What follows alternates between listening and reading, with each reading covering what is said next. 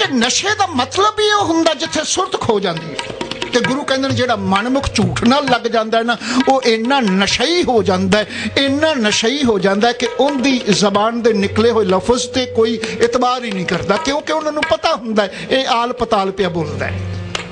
ਫੈਸਲਾ ਬਾਣੀ ਦਾ ਗੁਰੂ ਕਹਿੰਦੇ ਨੇ।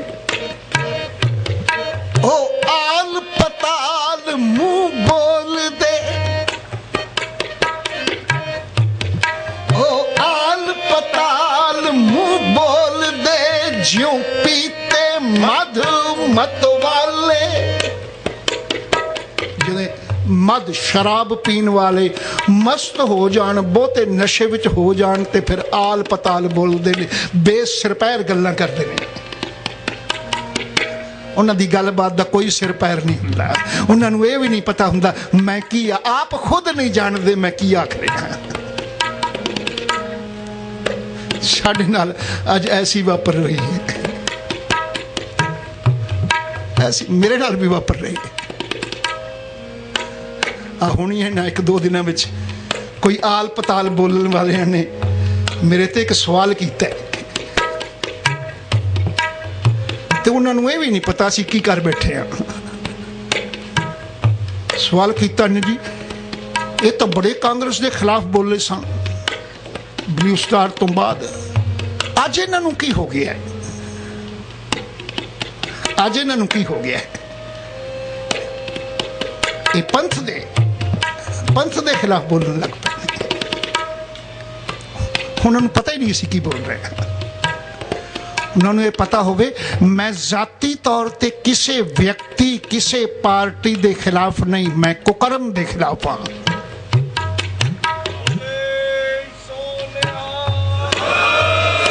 ਜਦੋਂ ਕਦੀ ਵੀ ਕਿਸੇ ਵੀ ਰੂਪ ਵਿੱਚ, ਕਿਸੇ ਵੀ ਥਾਵੇਂ ਖਲੋ ਕੇ ਕਿਸੇ ਨੇ ਸਿੱਖੀ ਨੂੰ ਢਾਹ ਲਾਈ ਹੈ, ਕਿਸੇ ਨੇ ਸਿੱਖੀ ਨੂੰ ਬਰਬਾਦ ਕਰਨ ਦੀ ਕੋਸ਼ਿਸ਼ ਕੀਤੀ ਹੈ, ਇਹ ਸੇਵਾਦਾਰ ਉੱਥੇ ਖੜਾ ਹੋਇਆ ਹੈ।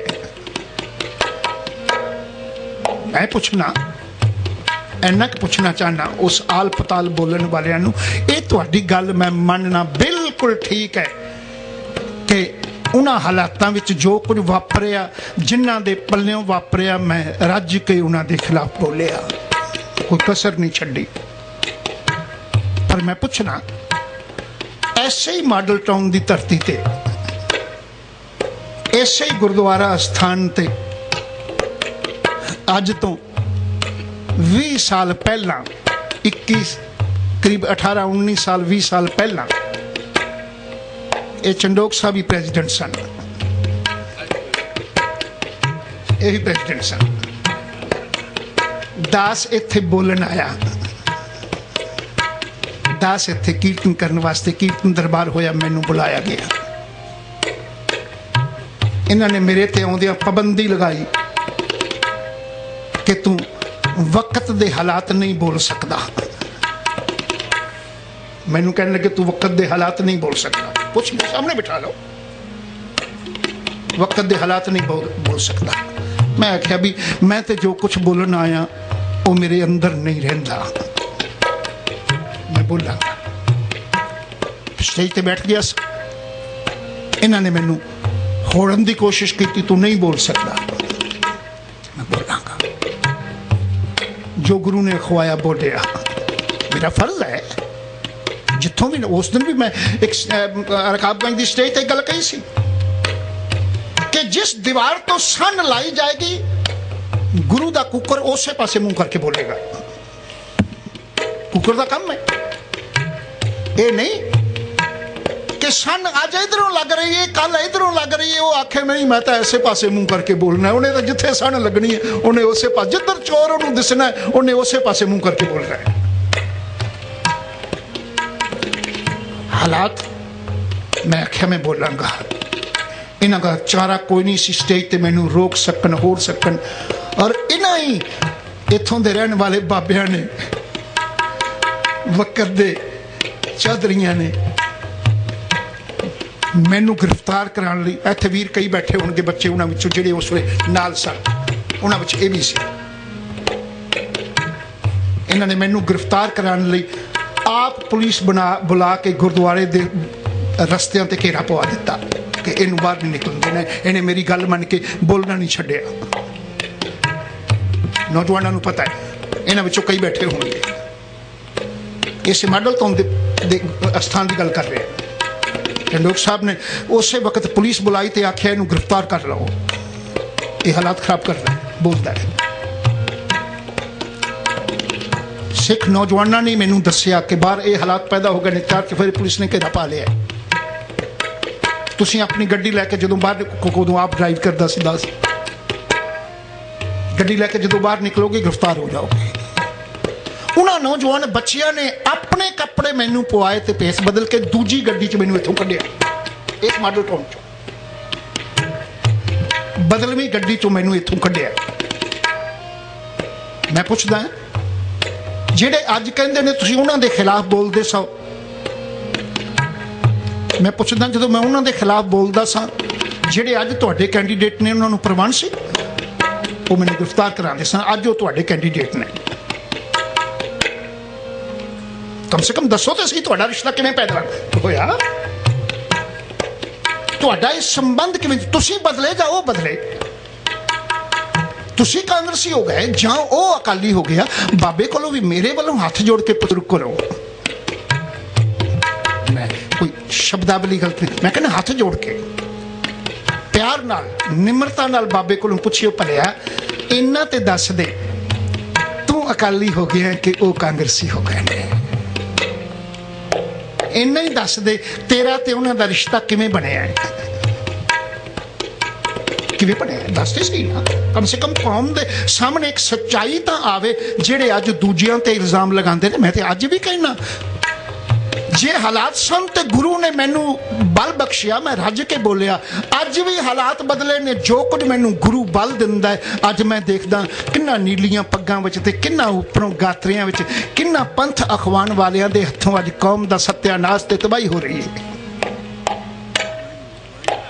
ਕਿੰਨਾਂ ਦੇ ਹੱਥੋਂ ਗੁਰਦੁਆਰਿਆਂ ਦੇ ਧਰਮ ਅਸਥਾਨਾਂ ਦੀਆਂ ਸਟੇਜਾਂ ਤੇ ਸਰਮਾਇਆ ਬਰਬਾਦ ਹੋ ਰਿਹਾ ਹੈ। ਪਿਛਲੇ ਦਿਹਾੜਿਆਂ ਵਿੱਚ ਗੁਰੂ ਘਰ ਦੀ ਤੇ ਗੁਰੂ ਗੋਲਕ ਦੀ ਇੰਨੀ ਦੁਰਵਰਤੋਂ ਪਿਛਲੇ ਦਿਹਾੜਿਆਂ ਵਿੱਚ ਇਹਨਾਂ ਨੂੰ ਪਤਾ ਸੀ ਕਿ ਇਸ ਸਾਲ ਵਿੱਚ, ਇਸ ਸਾਲ ਵਿੱਚ ਇਲੈਕਸ਼ਨ ਆਉਣੇ ਨੇ। ਆ ਜਿੰਨੀਆਂ ਸ਼ਤਾਬਦੀਆਂ ਇਸ ਵਰੇ ਵਿੱਚ ਆਈਆਂ ਨੇ, ਅੱਗੇ ਕਦੀ ਨਹੀਂ ਆਈਆਂ। ਜਿੰਨੀਆਂ ਸ਼ਤਾਬਦੀਆਂ ਇਸ ਵਰੇ ਵਿੱਚ ਆਈਆਂ ਨੇ, ਇਸ ਸਾਲ ਵਿੱਚ ਆਈਆਂ ਨੇ, ਅੱਗੇ ਕਦੀ ਨਹੀਂ ਆਈਆਂ। ਕਿਉਂਕਿ ਇਹਨਾਂ ਨੂੰ ਪਤਾ ਹੈ, ਕੋਈ ਨਾ ਕੋਈ ਜਦੋਂ ਪੈਸੇ ਦੀ ਲੋੜ ਹੈ, ਗੋਲਕ ਦੇ ਰਾਹੀਂ ਪੈਸਾ ਘਰ ਆਉਣਾ ਹੈ, ਉਹਦੇ ਤੇ ਇਲੈਕਸ਼ਨ ਲੜਨੇ ਨੇ।